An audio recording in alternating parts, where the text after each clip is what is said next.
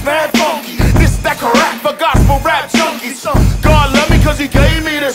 Haters make you greater, they the shadiest. I'm coming through with that raw God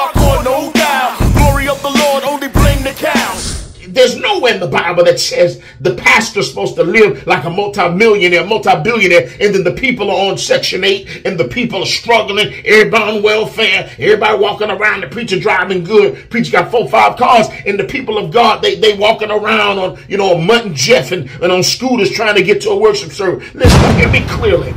I'm not saying that a man or woman of God should not prosper.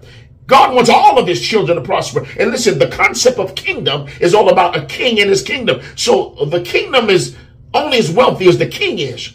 But there's a problem when you have a local preacher that's chipped up and they living large and in charge, you know, like a superstar, and then they're pastoring people who are impoverished, not only in the natural, but in the spiritual. People who are shouting and the music is going and they're coming to a building every week to release emotional stress. But they're not growing. Yo, Marty Grace, it's time to hit him with the sanctiflism.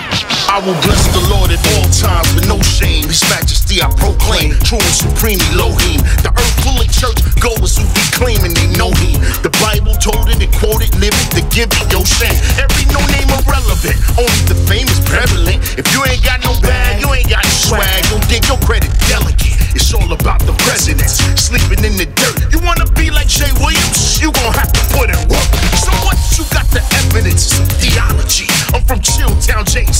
where survival is cheap. The world is straight. Oh, yo, you know the name of the game. How low you willing to go? Sign just to become a slave. Yo,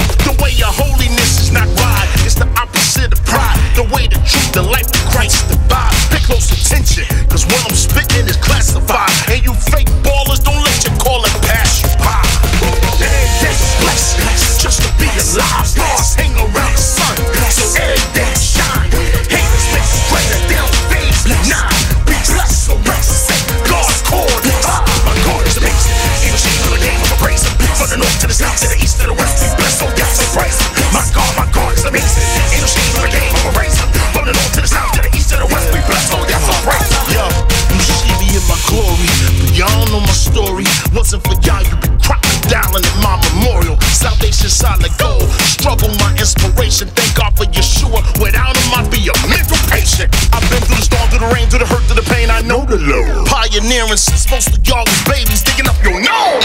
Safe to fly the flow. The illest and the realest. I'm that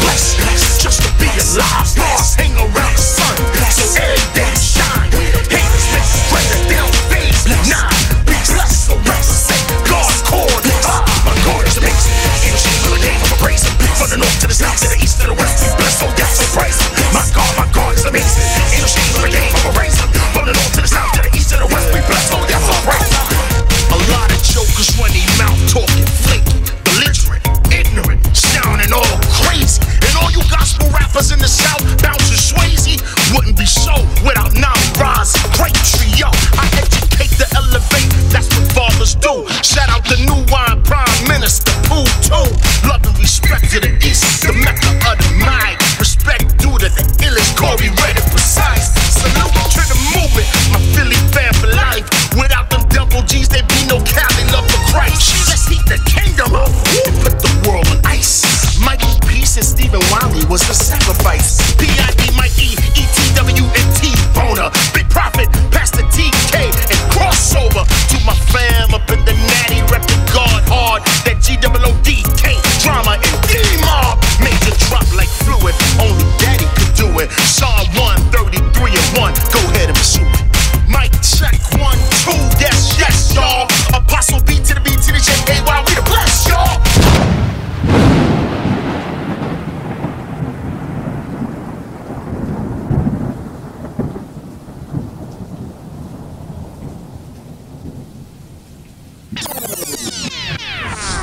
First of all, many of you need to reevaluate your situation.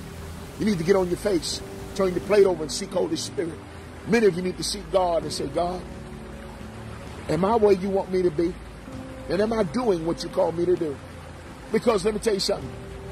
The tragedy in life that, that is the most severe, the most heart wrenching, is not the list of things that are hideous and wicked, like trafficking, rape, molestation, manipulation, you know, verbal assassination, physical harm, stabbing, shooting, somebody busting you in the head with a brick, busting your head with a pipe, or somebody stealing your vehicle, or breaking in your house and ramshacking and taking your valuables, somebody rolling up on you, putting that thing thing up against your noggin, putting the 12 gauge against the side of your rear.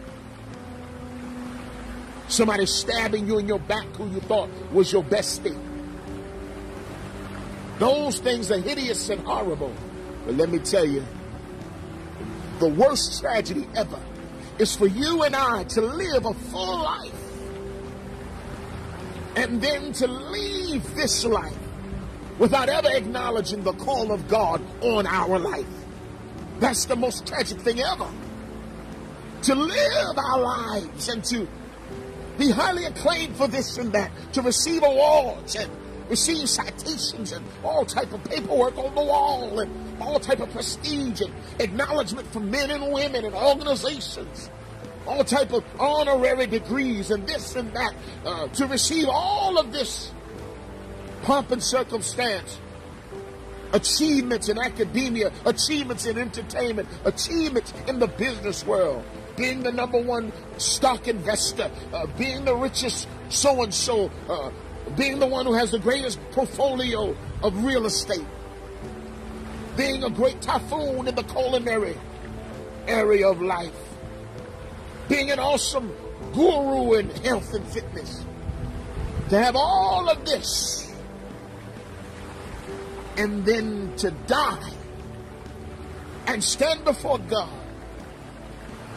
and hear Him say, I know you did a lot on the earth, and I know your name rang bells. And I know there were a lot of phone calls that you answered, but there was one calling that you never answered. I just want to ask you, how come you never answered my call on your life? How come you never gave me a yes? You say yes to everybody else, to this event, that event, to this showcase, to that place, this place. You said yes to this, this collaboration, this collabo. You said yes to this video shoot and yes to that fashion show yes to this business deal and that business venture. But God will say, What have you done with the call that I have called you to? You've answered everybody else's call. But what about the call of God on your life for you to die without ever answering or acknowledging the call of God in your life? That is the ultimate tragedy. Tragedy thing. Even if tragedy was a word, it's a word now. The tragediest thing, the most tragediest thing, the greatest tragedy of all, is to be in that space, in that place, where you've never answered the call of God in your life. Though people acknowledge you, you walked in it. Oh, praise the Lord, Bishop. Praise the Lord, Apostle. Oh, prophet, eh, prophet. Oh, oh, praise the Lord, evangelist. Praise the God. Oh, teacher. Is a great teacher. This is a great teacher. but to never answer the call of God in your life. And then to sit around with people and to gloat as if you the bomb.com and you know you've never done what God has called you to do. That's horrible. That's horrible. Horrible. Yes, trafficking is a horrible crime. But there's so many religious folk trafficking souls into their religious places they call the church when it's a, it's a, it's a ratchet place where God is not even there 99.9% of the time if not at all.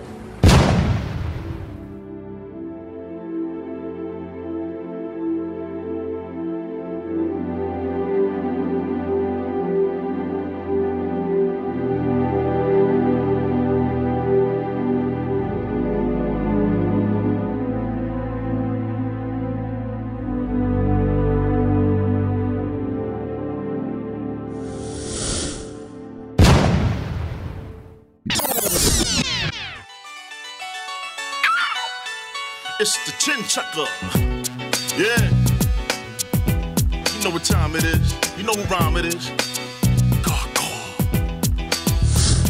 Yo, I'ma keep it a buck fifty. The only ninjas I kick with are the ones with me. My flow game is propane, swag gritty. I rip the shore with no shame in A city. I'm that dude they try to pull jack, it's elementary. You versus me is like Lil Nas in the penitentiary. You on your knees, I'm a mouthful, not half a cup.